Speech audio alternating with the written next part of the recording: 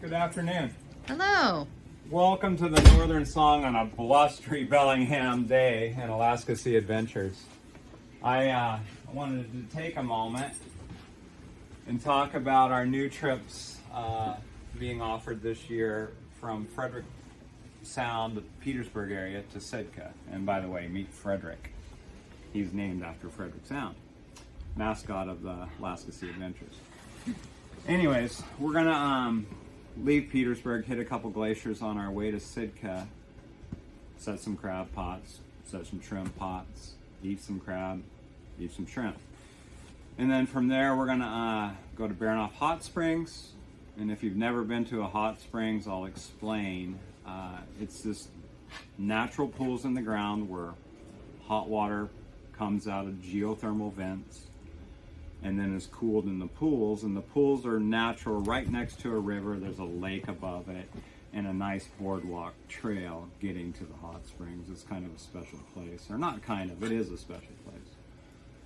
And then from there, we'll journey up into Icy Straits, see the native village of Hoonah, come around the corner uh, into Elfin Cove into a place called Cross Sound, kind of another magical spot. It, it opens up into the ocean there. And uh, it's just a very protected ocean spot. Uh, from there, we'll head to Sitka. And on our way to Sitka, we'll see quite a few otters. There's a lot of otters in the area due to the crab abundance that used to be in that area.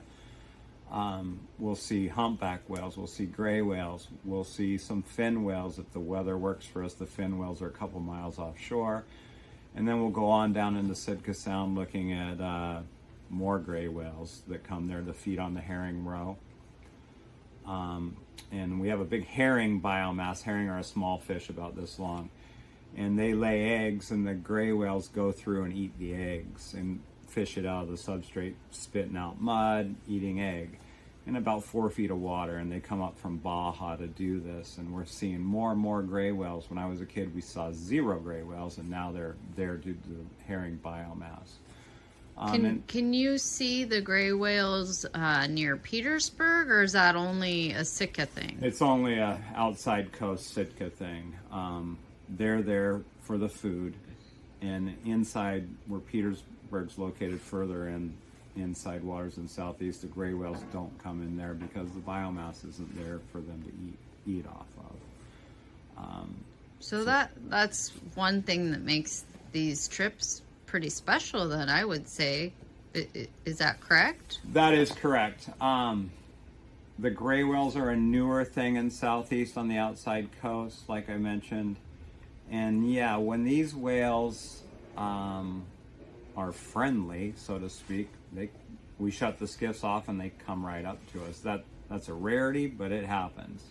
Otherwise, we're hundred yards off, and we'll see you know fifty to sixty gray whales in certain areas. Um, it is a new anomaly and it's pretty cool. It's special.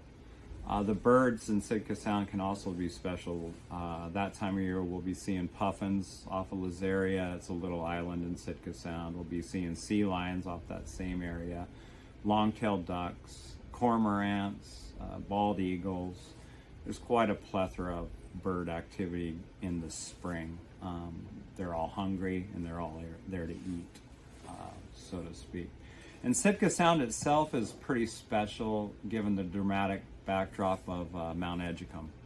It's an inactive volcano that's been rumbling the last few years, and uh, it's always kind of a snow capped cauldron that you can see from the water from afar. It's always, as a navigator and a seaman, being offshore and you see Edgecumbe, you know you're close to land and you're coming in to offload or whatever. It's kind of a special thing to see from the ocean.